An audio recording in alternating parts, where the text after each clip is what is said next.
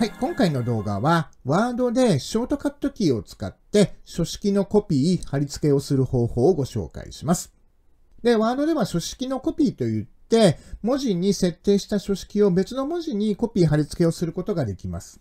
それでは早速そのやり方なんですけども、では今回はこの見積書送付のご案内っていうこのタイトルのところに設定されている書式を、この下の見積書請求書取扱説明書というところにコピー貼り付けをしてみたいと思いますんで、まずはその書式のコピーをしたい文字のところをマウスのドラッグで選択をします。で、次にキーボードのコントロールキーとシフトキーを押したまま、アルファベットの C を押します。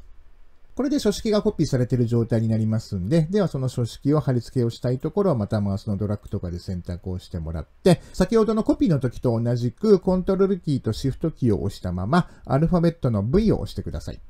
はい。そうすると、こういった形で、この先ほどですね、コピーをしたところと同じ書式が、この下のところにも貼り付けをされましたということですね。